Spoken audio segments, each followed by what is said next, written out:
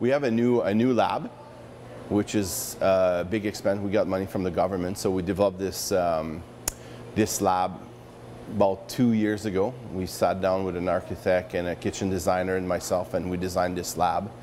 And also there's a new program that we offer. It's called Advanced Baking 30. I wrote the curriculum with a partner, Richard Donnelly, to um, to, to develop this program for the, uh, for the province. So it's just being under review at the uh, ministry level at Sask Learning. And uh, I'm getting some news this week that it's in the final phase of approval, so I'm really excited about that part. Uh, we only had Home Ec in grade nine, and that's it. Now we're really giving the, the student an experience I wish I would have had as a student. Uh, being in that business, that would have been fun to, to learn that too. Yeah.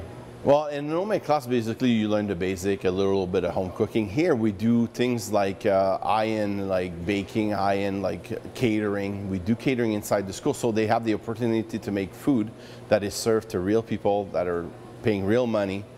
And we do anything from cutting meat to to uh, making something like beef Wellington, things like that.